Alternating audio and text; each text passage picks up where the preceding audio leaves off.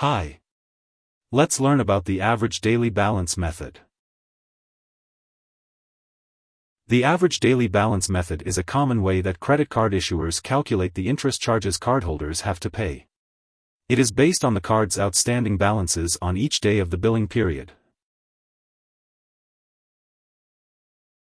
The Federal Truth in Lending Act requires credit card issuers to disclose their method of calculating finance charges, as well as the annual percentage rate, APR, fees, and other terms on the card, in their terms and conditions statement. The average daily balance method can take several different forms, including calculations made with or without compounding.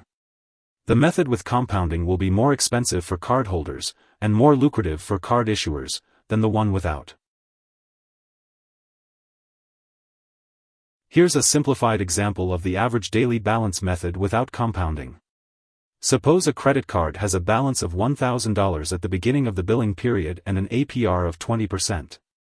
That APR translates into a daily periodic rate of about 0.055%, or 0.00055. In years past, some credit card companies used a method known as double cycle billing, which based its calculations on the customer's average daily balance over the last two billing cycles.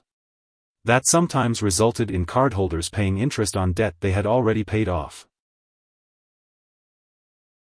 Here are four key takeaways. 1. The average daily balance method is a common way of calculating credit card interest charges. 2. It is based on the card's outstanding balances on each day of the billing period. 3. The average daily balance is multiplied by the card's daily periodic rate and by the number of days in the billing period.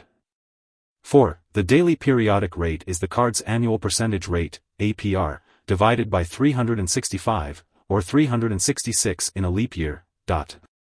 Hope this would help, thanks for watching.